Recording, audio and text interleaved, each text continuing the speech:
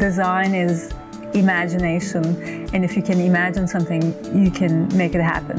And if you have a good idea you can convince other people of that good idea. There's also moments of that's the idea time to go. Let's let's try this. Let's build this. Let's see if it crashes on top of me or let's see if i can actually get through it. Sometimes it's easy. Sometimes it's hard Sometimes it takes forever, sometimes it never happens. Let's face it. We all have stuff in the drawer we don't want to show anybody. And then there's the other stuff that uh, museums accepted into their collection. It's terrific. There's one German word, it's called einfach. It's simple, but not too simple. If you're a curious person like I am, you're constantly chewing away on this visual language that surrounds you.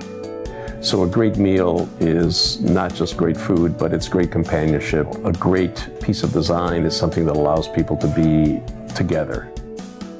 I would never do any sketching in advance. I'd work directly from my head to the finished piece. I would just sit and dream about it. When we're working through the design process, which is very much a series of conversations, what comes out of it is a sense of equilibrium because the process, the result, essentially is holding those two, two points of view. Um, certainly the best parts.